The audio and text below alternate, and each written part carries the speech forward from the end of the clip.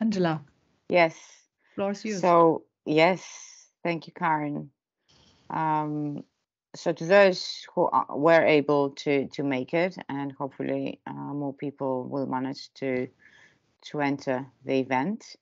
Uh, welcome to Pirate Care: Disobedient Solidarity Against Neoliberal Austerity, um, which is going to be uh, a presentation uh, by Tomislav Medak, and then a discussion between initially Tomislav and myself, uh, then hopefully with all participants. So I've met Tommy before in events in um, in London, and um, as I'm sure you've read, he holds a PhD um, uh, on technopolitics and planetary environmental crisis.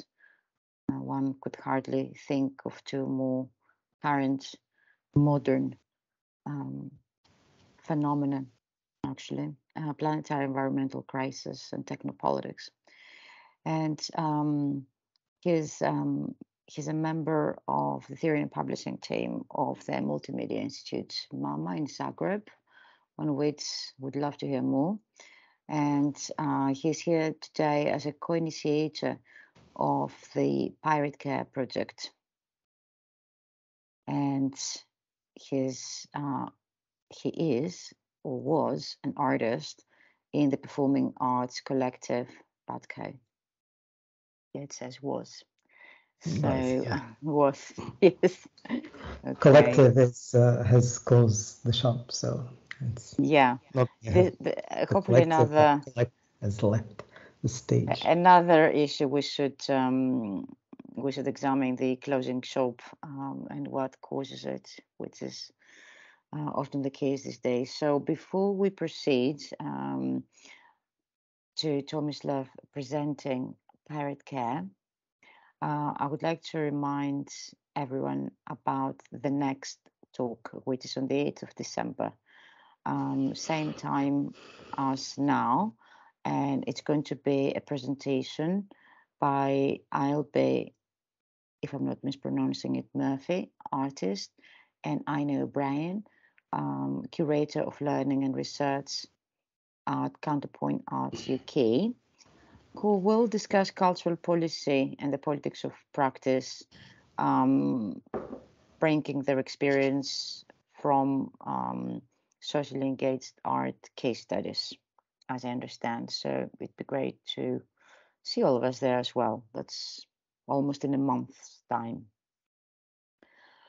So, um, Tomislav, would you like to start the presentation? Thank you. Uh, thank you, Angela, and thank you, Karen, uh, to both of you for uh, this invitation, and thank you all for joining uh, this evening. Um, I will uh, read my presentation, so if I'm a bit uh, too fast or unclear, just please interrupt interrupt me. okay, let me start. How's this looking? Can you see my presentation there? Not in the way we could before. Meaning? Meaning we no, we only see your ident your your team's identity flashing, but um so you're Meaning- trying to share. Yes, my screen, and it's not coming through. It did it will come, but for now it's not. So you can't see this. Uh no, I, I cannot see it, but someone else can. Gabor uh can and other people can. So it should read disobedient solidarity against neoliberal austerity. And there's Pirate Care banner being shown. Is that what people are seeing? I don't Can see people- anything, so I hope it will be recorded. So Karen and I cannot see it because we saw it before and the system decided that we can't see it now. But perhaps everybody else can see it, which is good. So w- Okay, okay, Yeah. let, let me get this straight now. Um, let's see in, in a chat. So you people can see my slides. Those who can, please respond yes. There were, I think, a couple of yeses. Mm, already, yes. The three yeses. Okay. So I'm going to go to my slides and just uh, do let somebody know in the chat that you are no longer seeing my slides if they go missing. Um, in tonight's talk, I will discuss how can we read the future consequences of the present crisis of care that we have faced prior and are continuing to face in the aftermath of the coronavirus pandemic. This I will explore from the perspective of Pirate Care, a project that Valeria Graziano, Marcel Mars, and I have convened four years ago. I will introduce the practices of Pirate Care, discuss how community care organizing in the pandemic has filled the gap of care, which is structural in its character, yet failed to politicize and contest the larger realignments in the provision of care, driven by forces of private provision, venture capital, and intellectual property. Furthermore, I will discuss the technopolitical implications of our project. These reflections are in many respects dark and discouraging, but provide indications of how we can conceive of real utopias of care, where the care in the community and the public care provision are built in a just and mutually sustaining way.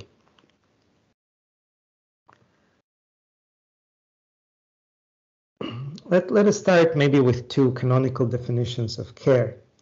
Uh, first one by Joan Tronto and Bernice Fisher. In the most general sense, care is a species activity that includes everything we do to maintain, continue, and repair our world so that we may live in it as well as possible. That world includes our bodies, ourselves, and our environment, all of which we seek to interweave in a complex, life sustaining web. And a second definition, or maybe more a comment, if you think about it, is this not what life is basically about? Human beings are projects of mutual creation most of the work we do in, is on each other. The working classes just do a disproportionate share of it. They are the caring classes and always have been. This is a comment by David Graeber um, that he wrote for Guardian 2014, Caring Too Much, That's the Curse of the Working Classes. Um, fundamentally, throughout our lives, we depend on the support of our families, friends, strangers, and institutions to sustain both ourselves and to sustain the world in which we and the future generations have to live. That interdependency of humans and non human nature in social and ecological reproduction defines the relations of care. And the effort to sustain those relations defines the labor of care. Pirate Care was convened with the objective to map and connect collective practices that are emerging in response to the so-called neoliberal crisis of care, a convergence of processes that include austerity cuts to welfare systems, the rollout of workfare, the attack on reproductive rights, and the criminalization of migration, all processes that have denied that vital support to many. Against this background of financialized global fun, uh, background of financialized global capitalism, sorry, I have gone too far. Um, over the last decade and a half, we have witnessed a growing wave of mobilizations around care, addressing a number of fundamental needs. The Docs Not Cops campaign, whose logo you can see in the background, uh, with doctors and medical staff refusing to carry out document checks on migrant patients the growing resistance to homelessness via the reappropriation of houses left empty by the speculators, like in the actions of Lepage in Spain. The defiance to legislation making homelessness illegal, such as Hungary's ban on rough sleeping in October of 2018. Or the civilian search and rescue ships, such as those operated by Sea-Watch, that defy the, the criminalization of NGOs active to save lives of those crossing the Mediterranean. These practices do not push back against the legal repression of vulnerable people, but also against the institutionalized negligence of care systems. In Greece, a growing number of grassroots clinics set up by the Solidarity movement have responded in the last decade to the draconian cuts to public services by providing medical attention to those without private insurance. In Italy, precarious parents without recourse to public childcare are organizing their own pirate kindergartens. In Spain, the feminists around the collective Gynepunk developed a toolkit for gynecological self-diagnosis to allow all those excluded from reproductive health services, such as trans women, drug users, or sex workers, to perform basic checks on their own bodies. Meanwhile, the collective Women on Waves uh, has been providing safe contraceptive and abortion options to women in countries where these are not available, at times using boats harbored in international waters like veritable care pirates. And they also liberate knowledge where access is denied to public libraries, as in the case of so-called shadow libraries or pirate libraries, which includes our own Memory of the World. Uh, it's a shadow or pirate library that is uh, run and maintained by Marcel and myself. Crucially, all these practices share a willingness to openly disobey laws and executive orders when these stand in the way of safety and solidarity, and politicize that disobedience to contest the status quo. That disobedience and that politicization is what defines them, in our view, as pirate care. Our project is specifically aimed to activate collective learning processes from the knowledge generated in and through these practices. In this, we have been inspired by the phenomenon of so-called hashtag syllabi, so-called, uh, that, that is crowdsourced online syllabi created by social justice movements in response to situations of intense antagonisms, such as hashtag Ferguson syllabus, created in response to the police killing of Michael Brown in Ferguson, Missouri, or gaming and feminism syllabus created in response to the Gamergate harass harassment campaign against the feminist computer game writers, or hashtag Standing Rock syllabus created in response to the Lakota Dakota Nakota Nation standoff against the Dakota Access Pipeline. We have written about the phenomenon in our article learning from hashtag syllabus. In that article, we have also set the program for the work that we were doing with uh, pirate care syllabus of, on which I'll talk a little bit more in a moment. Uh, here you can also see a book to which uh, Valeria has contributed. Her concern was with technologies of care and technology technologization of care is something that we'll see more and more in the future uh, and it's a topic of uh, extreme interest uh, to us. Uh, so how people can organize care well, building and commanding technical systems. I'll come to that uh, in a second. Uh, so building on, on that reflection that we have developed in learning from hashtag syllabus, we have set out to develop a radical pedagogy approach that would help social justice initiatives write, online syllabi of their own. The first round of topics for our own pirate care syllabus was written in November of 2019 during a writing retreat organized by an organization from Rijeka, Drugo more, and it was launched on March 8, 2020 for the opening of the of Bread, Wine, Cars, Security and Peace exhibition at Kunsthalle Wien. The syllabus, an expanding work of in progress, currently includes topics on criminalization of solidarity, sea rescue and care, common care work and child care, housing struggles, psycho psychosocial autonomy, a peer-to-peer -peer social technology of healthcare, so-called the hologram, uh, community safety from racialized policing, transfeminist hacking, hormone toxicity and bodily sovereignty, gender equality in tech milieus, and politicizing digital piracy. Um,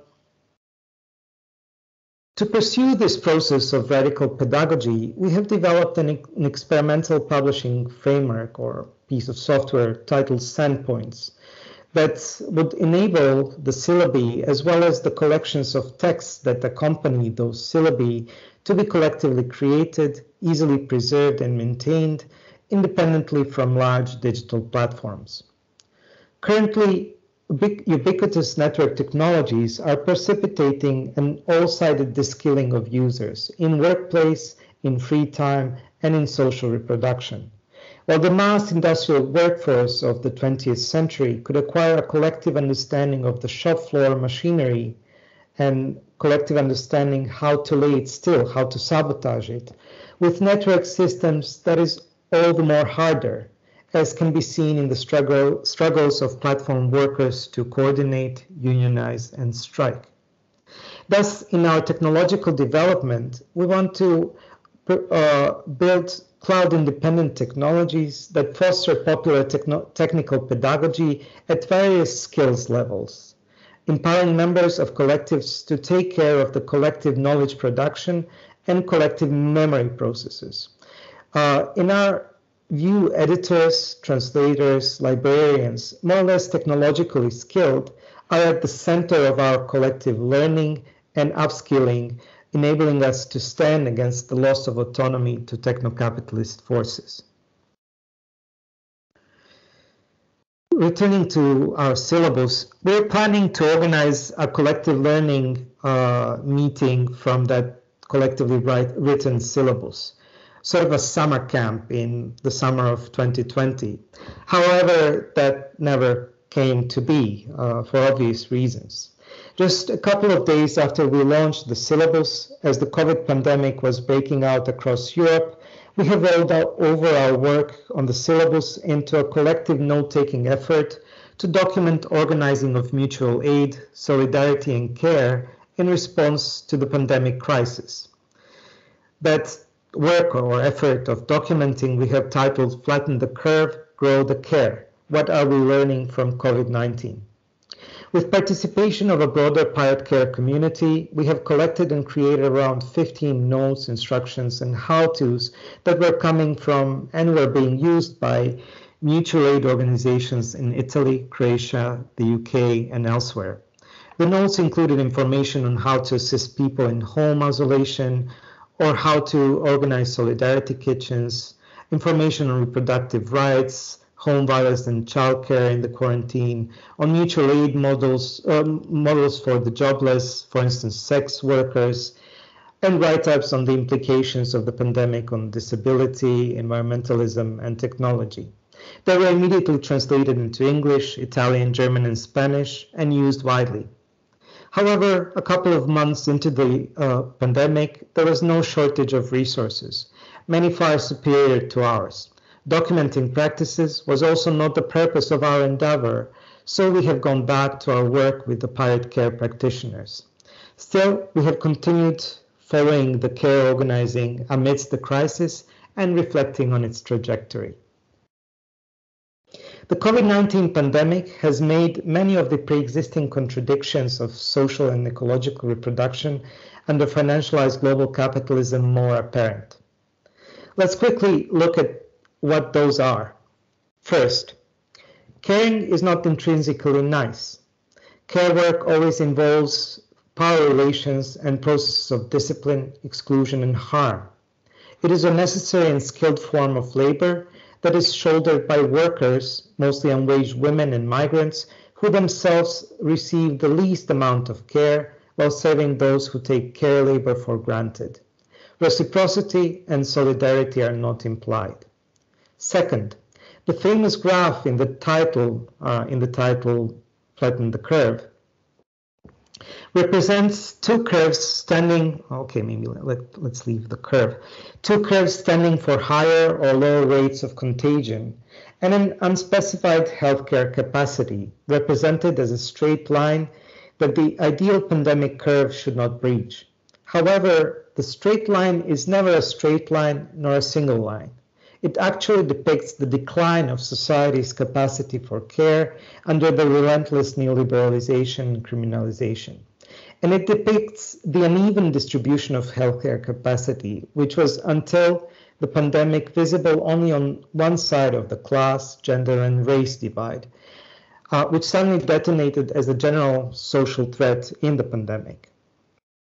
Thirdly, now that we know much more about the so social etiology of the coronavirus, it is clear that those who were in the front line and on whom societies depended for the provision of care and reproductive labor, those who had no choice but who, no, no choice but to go to work and who were hardest hit by the epidemic threat have remained and will continue to remain the more vulnerable uh, people on the on that side of the class, gender, and race divide. Let me provide you uh, two Austrian uh, examples of disobedient organizing of care workers in the pandemic that highlight and address some of those asymmetries. First one is DREPT. DREPT is a self-organized initiative of Eastern, East European live-in care workers in Austria, founded in 2020 to protect caregivers from exploitation and abuse. The initiative provides counseling, crisis support, and political advocacy for caregivers who are nominally self-employed, but in reality are recruited and dependent on employment agency, agencies, making them ineligible for trade union representation, minimum wage agreements, paid vacation, or sick leave. DREPT argues that if caregivers were entitled to full protection under labor law, the entire system of elderly care would no longer be financially viable, and that this makes agencies, the state, and the bulk of Austrian society complicit in their exploitation. Amid the pandemic, the initiative has built a Facebook community of over 10,000 carers in Austria and organized protests demanding proper employment status and protection for care workers. Sezonieri is an activist-led campaign for the rights of agricultural workers in Austria, which supports the labor struggles of migrant uh, seasonal workers.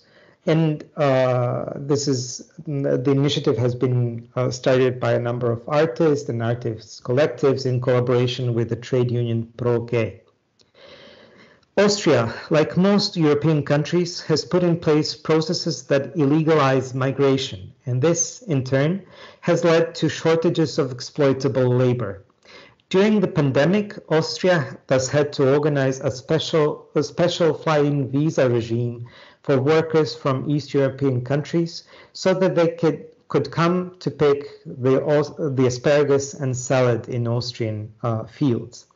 These workers were provided with no epidemiologically safe accommodation nor medical care.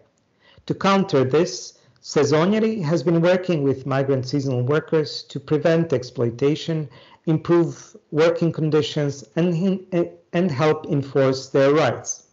In their outreach activities, activists go onto farms to meet the workers facing the threat of trespassing on private land. land.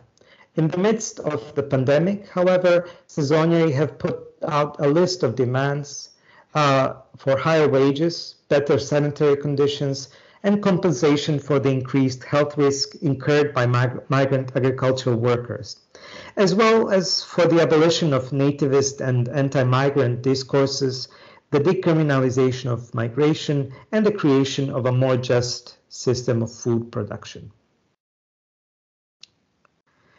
The immediate responses, uh, how am I doing with time? Uh, do I have more time or should I maybe quit and... No, you have more time. Okay. You have... Um, I'll, I'll do a bit of reflection now on uh, the pandemic period and, and uh, polit politicization of, of uh, care labor in that period. Um, the immediate responses and long-term consequences of the pandemic were hard to read at its onset.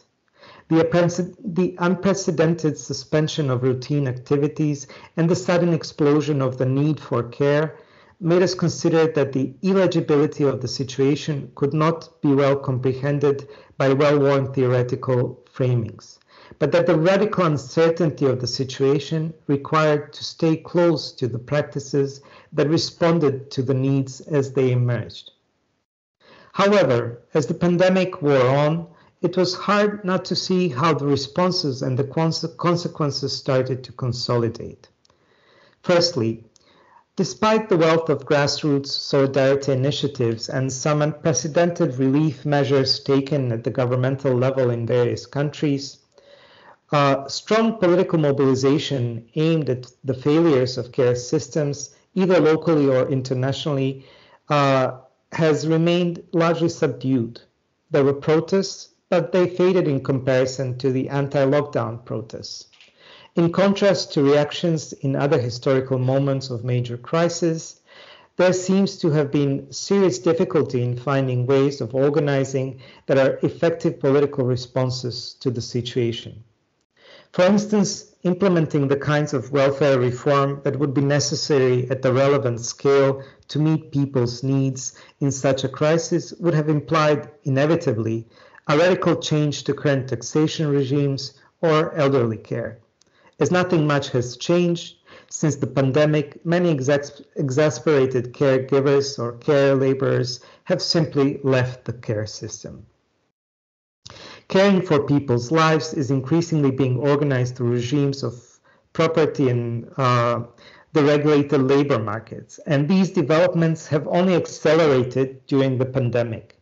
Here I want to outline three trends within the world of big capital that are shaping the practices through which care provision is organized.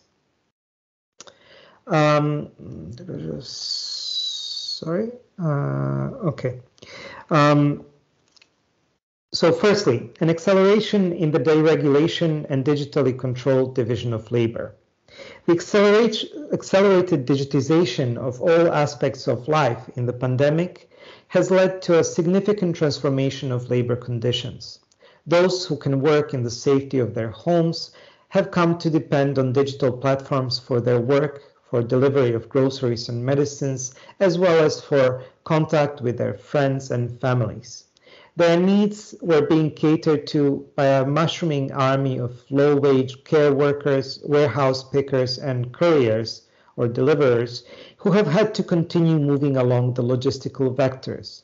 The pandemic lockdown thus had, has led to a precipitous increase in the rate at which both telework and needs for provision work or care work are being transformed into forms of what Ursula Huws has called logged labor, coordinated, quantified, and measured through apps and platforms. Similar processes have engulfed education, culture, and recreation. Big tech corporations have readily embraced their central position in the coordination of this new pandemic life. Amazon, Deliveroo, and an endless roster of other delivery services have expanded to meet this exploding demand, unflinchingly piling pressure on their staff to work at a breakneck pace. In a parallel process, the kinds of tech companies that primarily command technology and data rather than labor were aiming for an increase in public esteem. Google and Apple, so opposed to labor intensive Amazon, could thus claim a role of benevolent public health advocates, creating a privacy preserving contact tracing protocol and regularly releasing community mobility reports to monitor the effects of lockdown measures. Meanwhile, Zoom, WhatsApp, and other communication services were determining our capacity to work, socialize, and organize. Differences between those companies aside, the sudden dependence on private digital platforms, dubbed uh, by Naomi Klein as the Screen New Deal, has created windfall profits for the techno-capitalist oligarchy.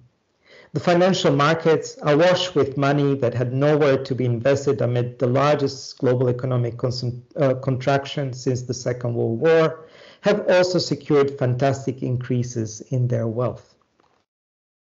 Second, healthcare systems in many countries had already been deliberately disaggregated. High value treatments have been privatized, and private clinics have been allowed to extract high returns on those treatments, while public healthcare systems were tasked with basic healthcare provision and disease prevention, areas that were constantly underfunded and under-resourced. With governments ignoring the warnings of scientists that an epidemic of this kind was only a matter of time, the capacity to produce medical supplies and conduct epidemiological responses in the face of any such emergency had been severely cut over the years. Thus, governments found themselves dependent on the private sector for the speedy delivery of uh, protection equipment, test and trace procedures, and ultimately the vaccines. This retreat from the public provision is widespread, but is arguably best evidenced in the field of high-tech medicines, where the domination of big pharma, to go, together with the slow but ongoing process of divestment from public research and development, has led to reduced capacity for the production of medicines that would address public health concerns. The first COVID-19 vaccines were thus developed by venture capitalized private research startups. The unprecedented public funding they received and the advance orders for the vaccines placed prior to their finalization socialized the risk of developing these new treatments, but the resulting market valuations, profits, and patents have all remained private. The net effect of this market dependent approach was that the less affluent part, part of the world was left to its own devices, waiting long time for vaccines. The novel approach to quick delivery vaccines championed by BioNTech uh, and Moderna is based on messenger RNA, which is also projected to be essential for custom treatments for cancer and heart diseases. This branch of medical research is dominated by private companies and closed patents. Future high value precision medicines are thus likely to remain in private ownership meaning that in the future this model of development is likely to siphon off even more resources from public healthcare systems, making them even less capable of responding to future public healthcare crises, and making the availability of treatments even more highly uneven. Tommy, I'm going to interrupt you. Sure. Um, we need to we need to wrap up in a okay. Let me. Few moments. Um, Thank you. Uh, I just have like two, three minutes more. Sure. Okay. What these processes share is that they are part of an accelerated conversion of care provision into assets. That is a specific kind of private property that focuses on profits from the rising value of financial assets. This is part of the wider trend toward the financialization of ever larger categories of provision of goods and services, and it, cre- it creates the basis for financial capital to exert control over the future development of large swaths of social systems without necessarily holding direct ownership or responsibility for them. Essential care provisions such as health, assistance for the elderly, housing, education, and so on are being increasingly assetized while at the same time, pensions, healthcare insurance, and savings of many ordinary people have come to depend on the income generated by these same processes of assetization. Uh, assetization is thus progressively locking, locking in ever greater number of people into a trend in social development that will create even more radically segregated societies while expropriating us from our very capacity to shape the future. Uh, and just to finish, um, in the absence of other means to mobilize around the future of care provision, it is urgent that laws that support the imperial process of assetization and the intensification of an unequal division of labor are disobeyed and politicized. And that process we have understood as pirate care. Okay, I'll end here uh, and we can discuss more uh, if there are questions, which I'm happy to answer. Let me just um, leave my uh, screen sharing mode so you can see me.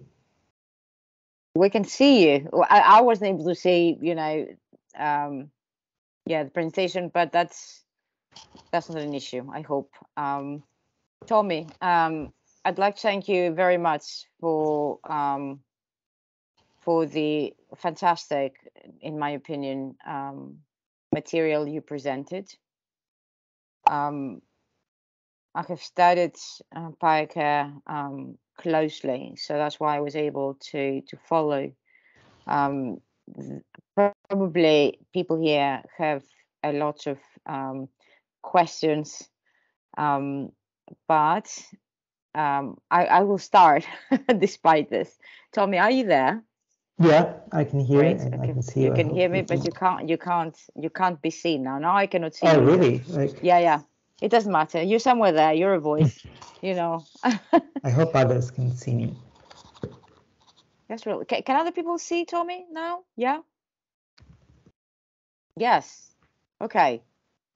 So, um, uh, first of all, right. Okay. Now we're getting messages say yes. So I, I just can't see you, but um, I mean, you mentioned that the the project started um four years four years ago and we can all we can already find in the project um if, if you read through you know the, the brilliant website you've got and i think it's for me at least it's one of the most adequately beyond adequately theorized um uh, presentations of the material you've got um so the project is young. I mean, uh, it started four years back, and you already have mapped out um, very important issues such as the criminalization of solidarity and dissent, the um, the impact of technology, both in um, stealing, you know, social care and kind of claiming it uh, back. But I, uh, my first question is that um, since the project started, we have seen, at least I have seen, an unprecedented, I would say, increasing criminalization of solidarity and dissent um, in both countries where um, where I am, like in in the UK and in Greece. In Gre- Greece is a border country where we have the criminalization of people trying to save other people from the sea in a very brutal way. And I could go on describing in detail what this means. Um, we have a carceral system where people who, um, some of them are, uh, most of them actually are immigrants themselves who kind of steer the boat so that it doesn't go down. They get carceral sentences of 200 years. Um, we're talking about num yes so th- this is a big issue. The, the sentences imposed on the people um, who are seen to be the leaders, you know, under the name of smugglers, right, very close, close to piracy um, in the boats, who may not have been actually the people who have taken them to the middle of the sea, because sometimes they go away and they live a migrant kind of with, you know, to steer the wheel of the boat. They get sentences of 100 and 200 years. Um, this is very little known we have uh, people like Greek people who um, who are in boats as we speak, and we have shipwrecks of and, and, and dead people every day, including today, like se- oh, ten I, I don't know sixty people today, like every day, every day this this is happening.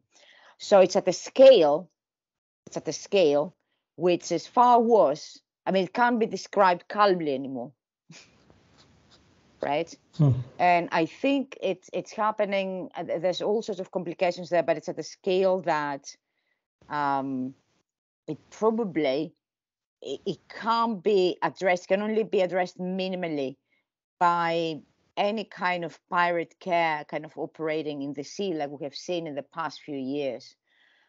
So um, I think this escalation, for instance, of this of, of this problem um, the criminalization even of dissent moving to the UK, where we, we already had um, uh, people in kind of the new concentration camps, actually, just as we speak, again, kind of um, rebelling of sorts. Um, the press presenting it in a very specific way. Uh, and we also have uh, frequently in the news what very people, very few people know or pay attention to, the new police bill right, in the UK, which is going to criminalize kind of any kind of prot- protest, basically, in, in public, including, of course, I mean, that's what they're trying to target mostly, envi- against environmental destruction. So we, I mean, I'm not sure that we could call this uh, state just neoliberal, with the word liberal somewhere in, which is just about the deregulation and so on. I think we have moved to um, what some people call totalitarian capitalism. I mean, this term exists since 2010, and neoliberalism has remained. I mean, has happened already, but it's in the market. Okay, so it's still happening. I mean, whatever few things are left to take through mortgages, through you know destroying any kind of um, healthcare system but the, precisely the criminalization of solidarity is such that I'm not sure. I'm not sure that um, smaller scale efforts, smaller scale scale efforts, can can address it. Mm. Do, do you think it's? I mean, we need we need a network, a huge network of pirate care projects yeah, well, I think that uh, there are different levels of organizing to address different levels of problem, uh, and uh, obviously uh, they do not exclude uh, the reason for existence of each other. Know that um, large-scale organizing against mass criminalization of migration or assistance to migration uh, migrants uh, requires more than uh, a single organization, more than uh, a small network of organizations.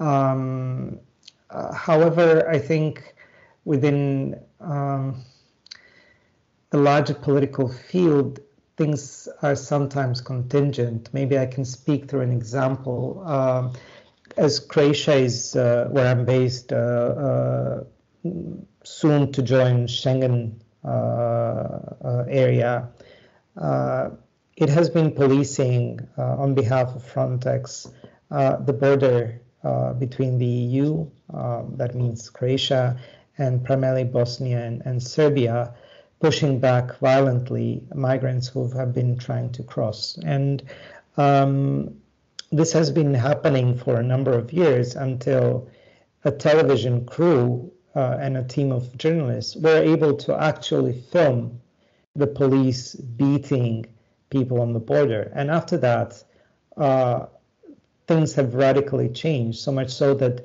uh, people are just issued a seven day um, uh, sort of ordinance to leave rather than being pushed back and after that might get deported, but most of uh, the people currently are able to uh, go further north uh, into other countries of EU. Uh, however, yes, I do agree that we need uh, different level of organizing to address um, the draconian imposition of economic systems and I mean, theoretical debates uh, about neoliberalism and the state could be had, you know, about the uh, market freedom and how much it required uh, heavy-handed state intervention and creation primarily of property rights, which meant also expulsion of population, which meant also dispossession. So many things that that were in the in the key of violence. Uh, so there's nothing in that sense uh, uh, new to new, neoliberalism uh, today than it was maybe 40, 50 years ago, uh, insofar as it requires violence, extra economic violence to be implemented and then to be sustained.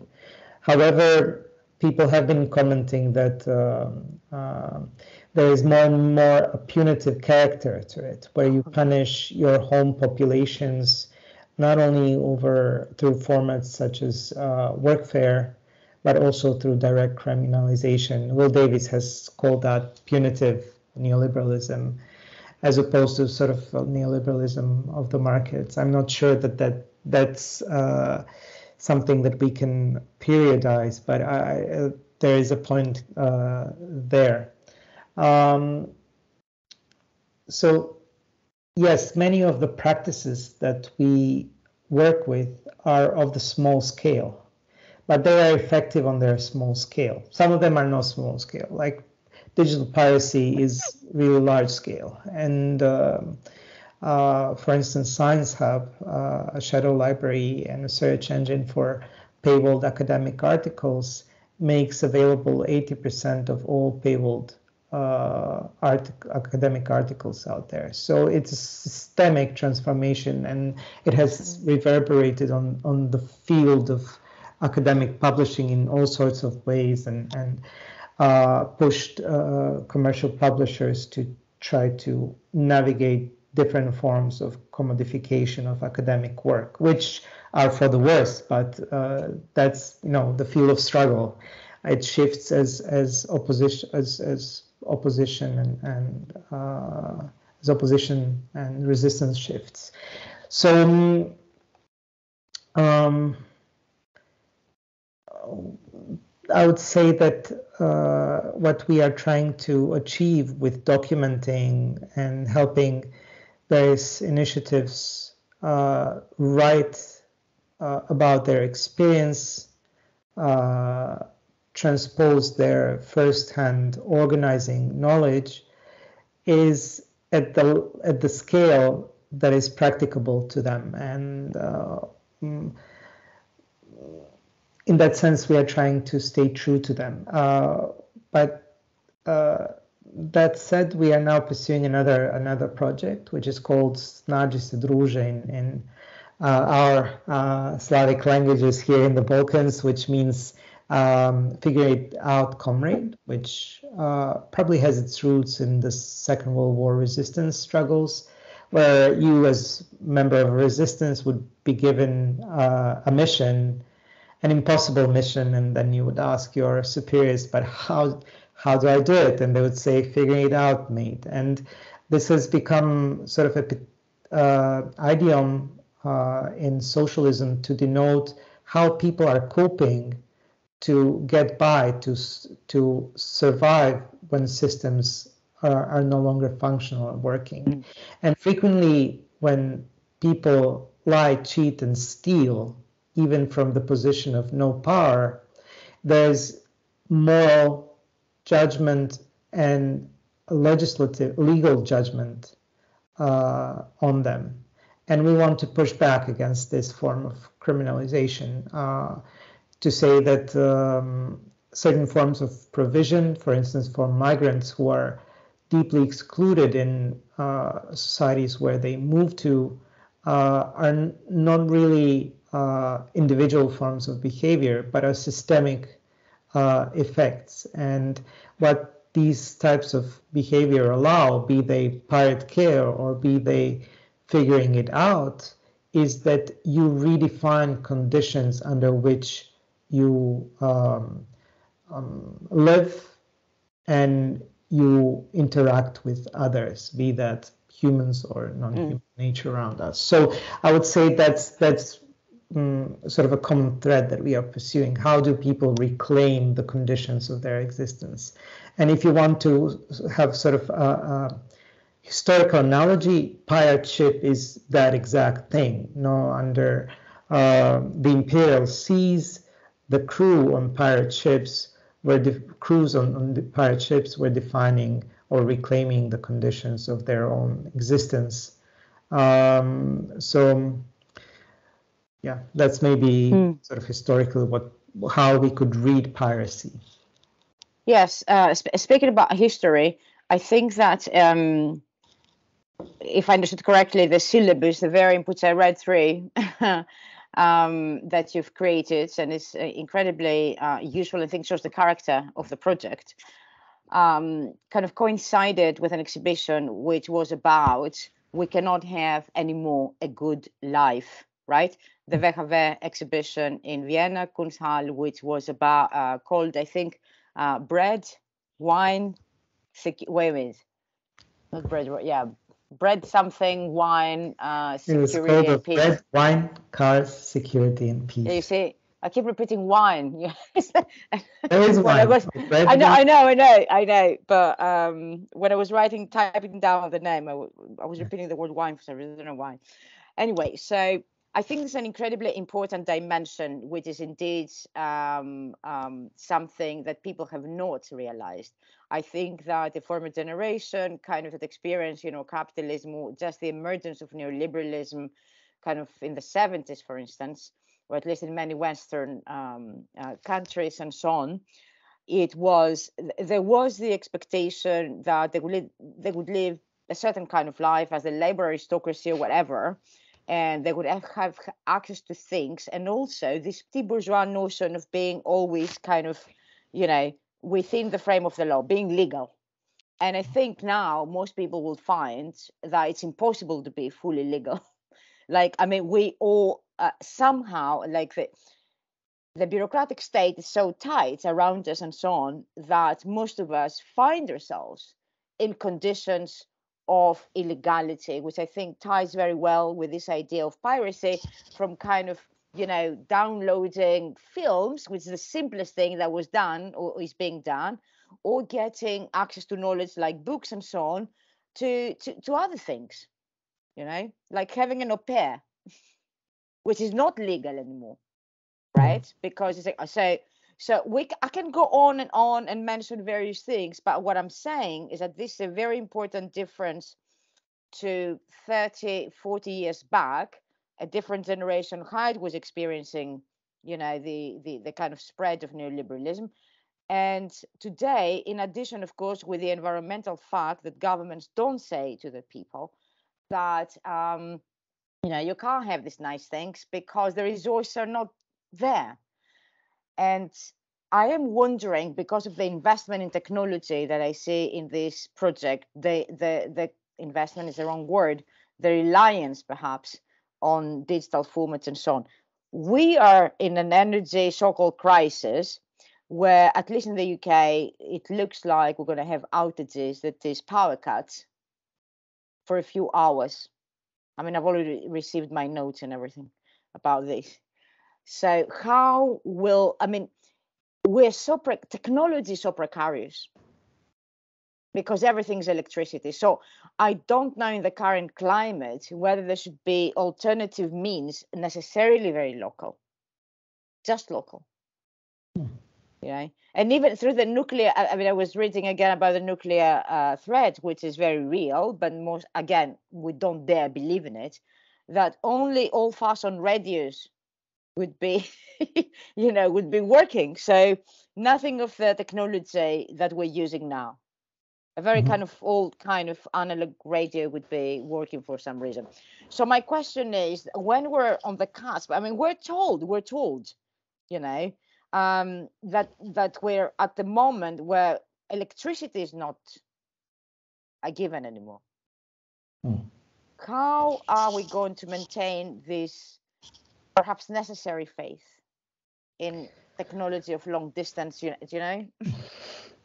yeah, it's hard to respond to systemic breakdowns. No, yeah. there is no. I think these are very new for us. Yes. Yeah. yeah but um, I guess the first weeks of the start of the pandemic lockdown and mm. the pandemic itself um, in Europe showed that people can easily shift modes and find different ways of mm-hmm. organizing the everyday. You know?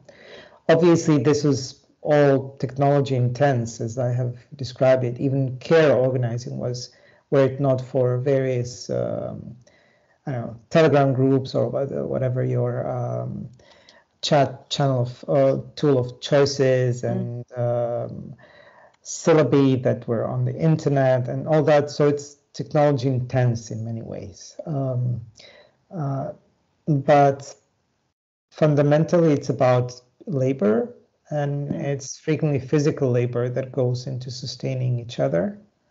So cooking meals, um, bringing them to somebody's doorstep, uh, just going out and trying to source something that somebody's missing, and, and things like that, or just uh, helping an elderly person uh, um, change their clothes, or any of those things are deeply physical and uh, they are necessary. So yeah, there is plenty to work to go around once everything goes down. I feel so. Uh, I'm I'm not so fearful for uh, for how people how we can respond in uh, situations when they do happen. The problem is obviously that we are uh, dressaged to be individual and that we feel uh, encroached by anything that conditions our individual freedoms. And we rarely have the opportunity to build our collective freedom, to deliberate collectively on how do we do something together. Um, and uh, that's a political uh, thing that we need to nurture in, in many sorts of ways. Organizing, political organizing does that even in the periods of deep um, defeat, which I think the current period mm. in many respects is. No? Um, yeah, who's who's defeat? That's interesting. Like, I mean, is the neolib- I mean, the systems defeat our defeats. You know, um... it's a strange situation. No, we have sort of huge expansion of the state. Uh, huge, yeah, of, yeah, of, yeah. uh, Keynesian uh, state that supports a lot of. And there's surveillance state. That's the other thing. Like we're being we're, we're being watched all the time. Yeah, we're, we're under this technology all the time. Is that that is transforming into any any sort of structural uh, uh, transition to a better place. No, that's that's the difference from the Keynesian state of say uh, post-war period when all states were developmental states. They were striving for a certain level of uh, um, social um, stability and many of them to some level of redistribution, mm. be they capitalist, be they socialist, or be they post-colonial or and and or anti-colonial. Uh, but that's gone. Now, now we have expansionary state, which looks nothing like the expansionary state looked in the 60s or 70s um, under developing industrialism. Um, and now we are hitting the borders of what's ecologically sustainable.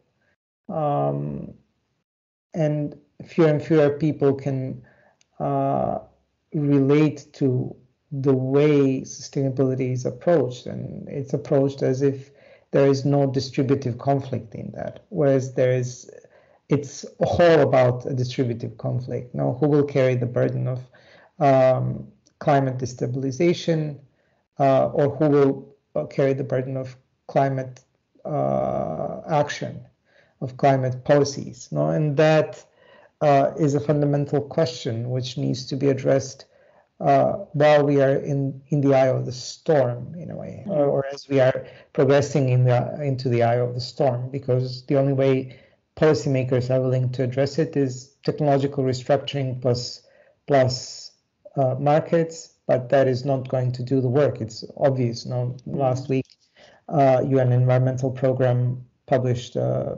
their annual gap emissions report and, yeah. and there's a clear statement that it's not working out that structural deep transformations are needed. Yeah. Um, i want to because these are huge themes which are, we're not going to solve now. I want to ask very quickly before i um, open um, and invite others to to to pose their questions the the the collective, the project Pirate Care has been a multi-skills, you know, um, collective as I've understood it, or project, and you have various people there, and you also have artists, right?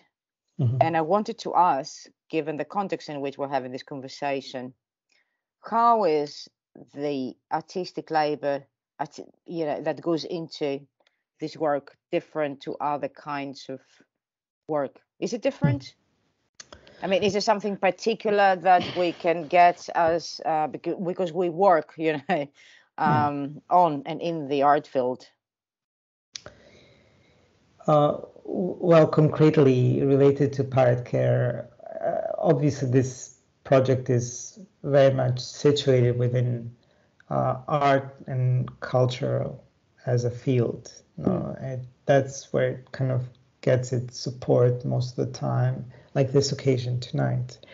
Um, and many types of interventions that we do are uh, cultural interventions. Uh, for instance, as we couldn't do a, a summer camp where we would collectively learn from the syllabus, we organized an exhibition in Rijeka and uh, it's a documentary exhibition, most of it, but it included also what some people see as artworks, like uh, Paula Pin from formerly from Punk. She sees her work uh, with um, um, hormone hacking and, and, testing devices as a form of artwork. So um, it does include artwork. Uh, and what we are trying to do is uh, when we work with artists is that there is uh, form of redistribution of the resources that we have uh, and um, that everybody's uh, paid. Nobody's paid. Well and uh, good enough. Yes. That's i guess the doom of still no there is an, uh, an expressed effort to do that and then to whenever in during the pandemic for instance we have nurtured this ethos. Whenever we get an invitation we would pass it on to people we were working with you know, and we would facilitate that but would either step back or moderate or just give more room and resources finances whatever uh, to people we were working with, organizations that we were working with, uh, initiatives, and ultimately artists we were working with. Okay, well, uh, yeah, I mean, I, I don't think that piracy would have been openly openly tolerated if it wasn't for artistic autonomy. Yeah, definitely. I think I, I think art was a necessary part, even if it came through the, this kind of multi-skill teams. Okay, um, say it's yeah. not tolerated in the sense that you know it's not tolerated in the sense that uh, we who do this also sometimes come under repression. No, it's not right. without consequence. It doesn't stay in the the safe zone of art. No. Okay, that's I think a very very important um, observation, and I would like to invite um, my colleagues now to to yeah to ask you questions so are there any comments or questions you'd like to address to Tommy or even me or both think Karen has raised her hand uh, no, oh yes Karen I can see Karen yeah. yes yeah um yeah, thank you for your really, really amazing uh, presentation of your work. Um, I have a question which goes in a similar direction as um, Angela's question. Uh, it's about the dimension of your work and how you think of um, an expansion of it. Um, and related to that, I would also be interested how you work with the um, classical NGOs who are in this field, who are active in this field. Um, when it like Doctors Without Borders and so mm-hmm. on and so forth. How how do you see your own work um, related to that work? Or with, uh, you were talking about climate action how you see it related to Greenpeace and and so on and so forth. Um, and um, do do you think it makes sense to collaborate with these NGOs or to, rather to distinguish distinguish your work from those classical old NGOs who are yeah partly in the same field as you are? Um, yeah, Pirate Care is conceptually uh, rigidly delimited. We are interested in those forms of organizing care that are willing to uh, uh, disobey laws. No? So, kind of that's we are not really interested in all sorts of uh, humanitarian or care efforts that's not to say that we have particular disliking of uh, mm, mm, Doctors Without Borders or Greenpeace. No, okay. I mean, I'm also in, in ecology, so I, I, could talk about these things, but strictly speaking, from the point of view of pirate care, uh, we are not interested in that. We are interested in Sea-Watch uh, or Juventa or um, SOS Mediterranean, and who themselves are uh, affiliated to um, Doctors Without Borders. It's it's just that we we are looking at uh, the forms of articulation of problems around care provision and right of everyone to get the essential care, care care that they are rescued if they are drowning in the Mediterranean. So uh, it's it boils down to to that for us uh, conceptually. You know, that's uh, what the, this project was really about. You know, that, that um, we try to problematize uh, the legality and uh, uh, try to point at legitimacy of illegal actions, political legitimacy of illegal actions, which these actors frequently claim. Um, so um, I don't know if that answers, but um, yeah, the expansion uh, part of it. Uh, uh, what do you mean by expansion? If you can just clarify. Yeah, if if um, how big can uh, pirate care become? How how many ah. members? Uh, well, um, this was for us a research endeavor, no, and it still is. Um, we are trying to connect with various organizations that, in our uh, definition, fit that uh, form of uh, agency of pirate care, and we try to connect them. But we are not really building a big uh, project out of that of uh, bringing together all forms of pirate care there is. No, it's just uh, we are limited first to a very to, to a very small geography. It's um, somewhere between Western and Eastern Europe, first, second world, global north, we would call it in today geopolitical uh, mapping, but um, uh, so it lacks many dimensions uh, of the predicaments and, and the structural elements of what drives uh, the denial of care.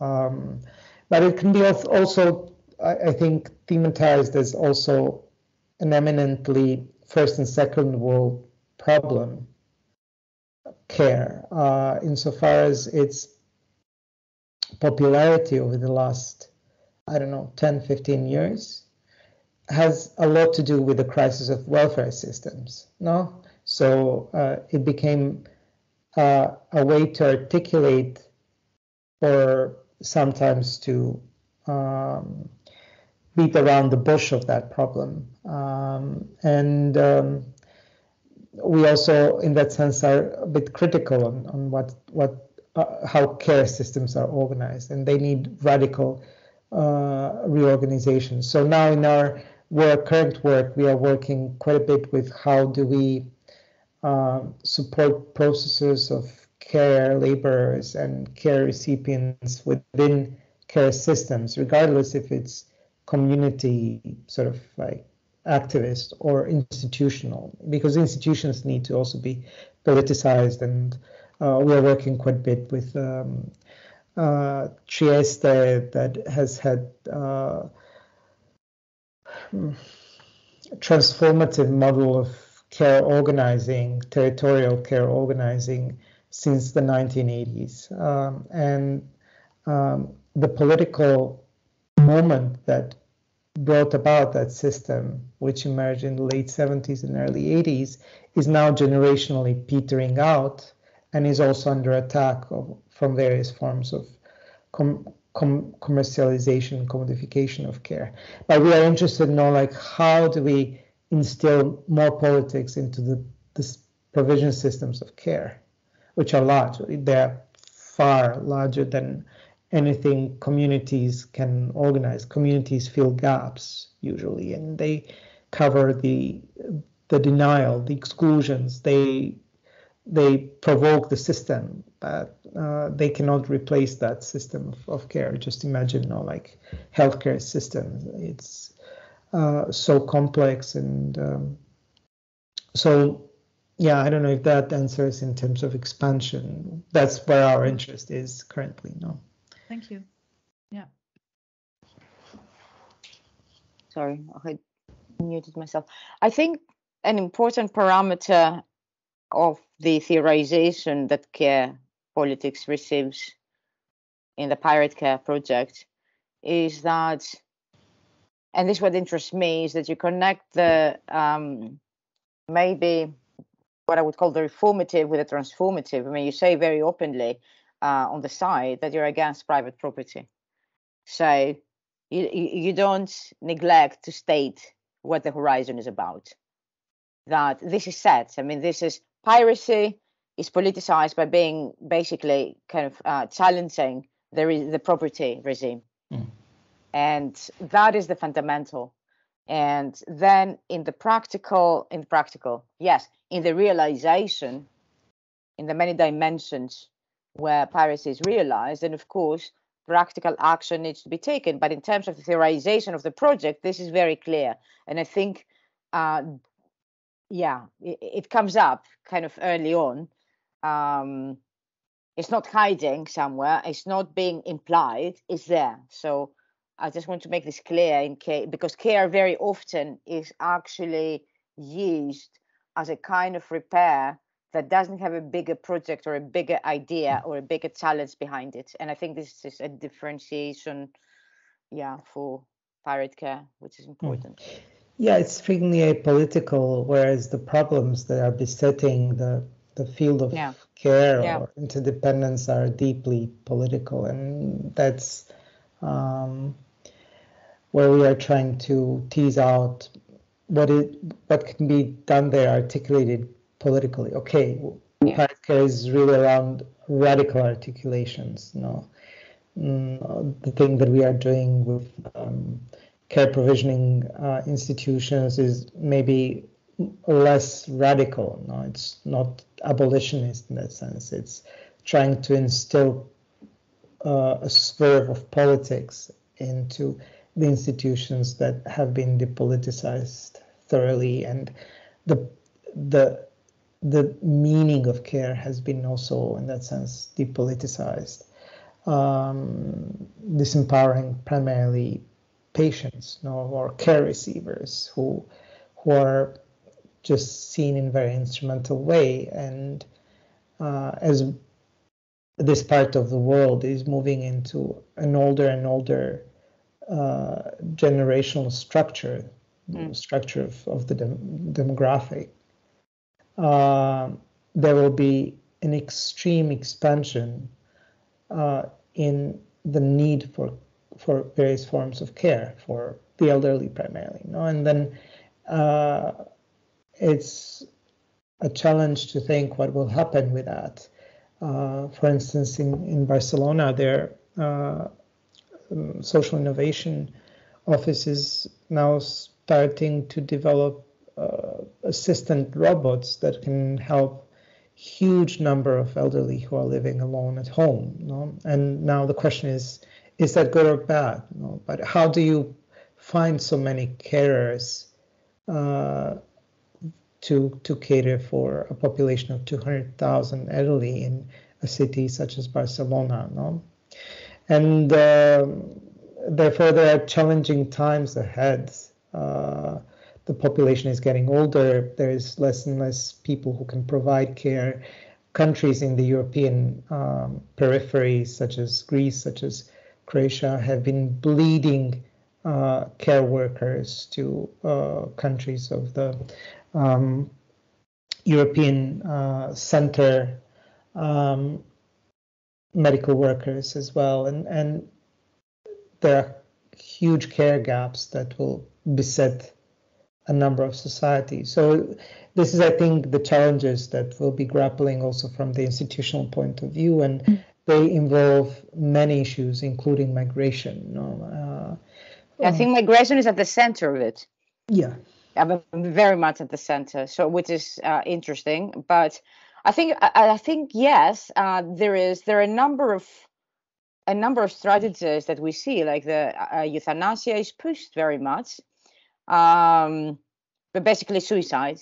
That's what it is, you know, assisted suicide. So this is pushed very much like the Jean-Luc Godard way, um, and the I, I think it's important to note that not only the state has withdrawn from care responsibilities, it is actively against the citizens, which I think is another level of it, it's not just withdrawal. There's a clear attack. There's the perception which is being pushed every time we have a, a, a big kind of like debt or financial crisis that people live too long, you know, um, or that the age of um, uh, of work should increase. I don't know to 70. It has already, and then to 80 or whatever. So what I'm saying is that there's an actual attack by the state, the capitalist state, on its citizens. And that this is happening. It's not just withdrawal of care. We can no longer talk about withdrawal. We're talking about a kind of necropolitical attack on the so called economically inactive uh, populations. Hmm. So um, we're nearly the end of our time here tonight.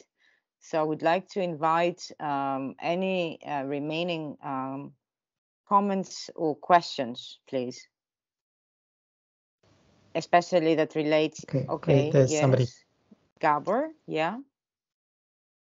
Hi, uh, thank you very much for both of you for this conversation and for you especially uh, for the, the presentation. And I have just a comment or maybe a question. I don't know. Uh, whether do you think it would be possible to use because I, I really liked what Angela you brought up that uh, neoliberal because it contains this this word liberal is not really uh, working anymore for for this kind of thing and I'm from Hungary. I'm researching Eastern Europe and uh, I I use the term illiberal a lot in my in my work and maybe illiberal neo-illiberalism could be could be something that, uh, considering the ways um, an illiberal state is is or seems to be uh, able to go even further in these attacks against uh, its own citizens when it comes to um, yeah basically many issues but but yeah now i'm thinking about what you uh, mentioned tomislav uh, the the ban on homelessness, like homelessness uh, as such is illegal in Hungary. But right now, actually, there's a huge uh, mobilization project because the regime made it uh, practically impossible for uh, teachers to to go on strike, and so since the the institution of strike is is emptied out, uh, it's a huge movement. Uh, many many teachers who were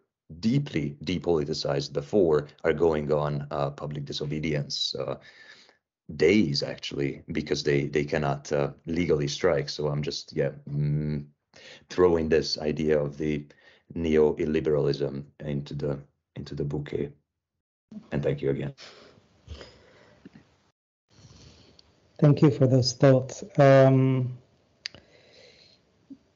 yes well um, one could understand maybe liberal state or liberal democratic state of the developmental period as developmentalist period or as, as sort of place where um, both recognition and distribution were uh, expanding. And then illiberal is a state that divides the population so or pits the population against each other to to instill rights to a segment of a population. Um, and that's how I would read, for instance, the welfarist chauvinism in, in Hungary or Poland at uh, at the moment. I mean, it's happening everywhere now. It's or or Britain. Oh, Sorry. Britain, yeah. Yeah, and Greece. Uh, yeah. Just ever. I, I, political spaces are are particular and specific. No, so we should uh, sometimes generalize the phenomena, but we should also sometimes look at the concrete um, political uh, terrains and, and uh, try to um, grapple with the problems that are generating uh, their uh, particular outlay, you know, um, the lay of the land in a way. So, but yeah, thank thank you for those thoughts. Okay. Um, well, it's exactly seven o'clock on my British clock. So um, I think actually, uh, yes, we have, we're done for time, unless you would very quickly like to add something. Um, yes, somebody wants to add something. Thank you. Hi, thank you very much for the presentation. Um, just really quick, um, I wanted to acknowledge this thought of um, sort of like the state attacking its own citizens and particularly the citizens that are not um, economically valuable or, or active. Um, I did a just like a little seminar work on care work, um, and there's re- I'm from Switzerland, and there's research um, being done um, in Switzerland, which you would think, okay, this is very Central Europe, and and you know this c- couldn't be the worst care system in Europe. However, there has been um, um, studies now done that many um, care workers have to or reside to um, giving neuroleptics to old people that um, don't need that. And there's the amount is increasing every year and it's um, it's sort of like a something that that care workers are really really sad and and um, feel bad about but sort of have to because they have so many patients on one care worker and they're at the end of it um, yeah, and I sort of thought of of your comment now, um, Angela, about how this is an attack on on citizens um, by just drugging them basically, and yeah. Yes, obviously, I think. I, I sorry, go on. Now, obviously, it's it's difficult um, because one should not blame care workers because care workers are just sort of like at the front edge and and having to distribute neuroleptics because that's what you know the system pushes them to do. But yeah. I wonder what you what you say about that. I mean first of all i'd like to say that um, whereas pirate care you know defends actually the um, illegality because piracy is considered um, not considered abstractly, according to the law, actually defined as illegal and criminal. I think that um, we need to turn the tables around and start talking openly about a criminal state. It's, it's a state that is criminal, and we should no longer actually bear the brunt of criminality and solidarity. That at least in the public, um, where public opinion is concerned, this discussion needs to completely turn the tables that we live in criminal states. I mean, it's not an exception, it's the rule. That, that's what I was trying to say before. And I think this could be uh, an objective of projects like the amazing, actually, um, um, uh, Pirate Care, but also other projects, because, you know, how a network could be not just documented, but you know carry on is a different thing. But calling the state criminal for me is fundamental. Yeah i think that's we should also what um mm. sorry it's also what forensic architecture's work is about. Yeah. Yeah yeah yeah definitely so i think in in my view we should view the trajectory of development of state as a formation as having been fully subsumed to um, a dominative structure, you know, a structure that assumes domination. There's um, a great book by uh, an American um, political scientist, Adom Getachew, uh, who has analyzed anti-colonial states, and she has tried to argue against um, sort of a cliche uh, in uh, left communism that views uh, anti-colonial struggles and national liberation struggles as failed attempts because they want to construct a state. And she goes on at great length to show that the construction of the state there was premised on uh, transforming the global system of states so that it becomes non-dominative, that the structures that create imperial hierarchies mm. that that are the legacies of pre-Westphalian uh, structure of states uh, be abolished. And to do so, they've obviously had to form states, but it was not about founding states. It was about creating federations with other anti-colonial states and non-aligned states to uh, work against domination in, in the world system and then uh, trying to push for new economic order that would uh, that would overturn the the dominative structure in the world economy. Now and then, um, I think the structure of the state has been radically transformed. Its function has been radically transformed since uh, the 70s and 80s, uh, uh, just because there is no uh, alternative to that imperial structure or hierarchy and differentiation between societies and states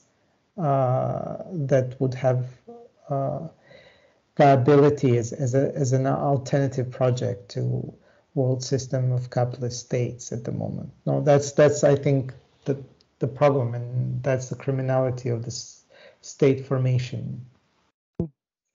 I meant, I meant more specifically it's evolution, but I hear what you're saying. Um, I, I, was talking about the evolution of the capitalist state specifically. that whereas there would be a consensus before, I mean, what was being done to anarchists, if I can put it this way, uh, you know, in the West, or what was done to Italian autonomy and so on, has now spread against practically, you know, um, I'm not going to say all, um, but yeah, all dissenting actually citizens. So it's it's it's a it's a huge it's a huge attack that we're seeing in in in most parts, and yeah, involving protest. Yeah, um, I don't know if there's um, okay. Anybody else who would like to contribute? So I was just asked about the name of the book. Uh, so yes. the author is Adom A D O M Getachew. Uh, I, I, can spell that down. Uh, and the book is World Making After Empire The Rise and Fall of Self Determination. Let me just put that for you here. Um, as a bibliography. It's in the chat. Oops. Oh, there you go. Okay. So thank you very much, um, Tommy, for tonight's discussion and the wonderful present enlightening um, presentation. I would, if if you haven't read, if you haven't been to the Pirate Care uh, site, I I think it's great. It's worth re- every sentence there is worth reading. That's my that's my finding. So uh, thank you very much. Thanks to everybody for to all of you for joining um, Karen for hosting, and we look forward to, to seeing you in the next event, which is on the 8th of December on policy rather than piracy, okay. which we discussed tonight. So okay. thank, thank, you, you, thank, you, Angela, thank, thank you, thank you all thank you for people joining. who are there. Bye. Ciao. Bye, Tommy.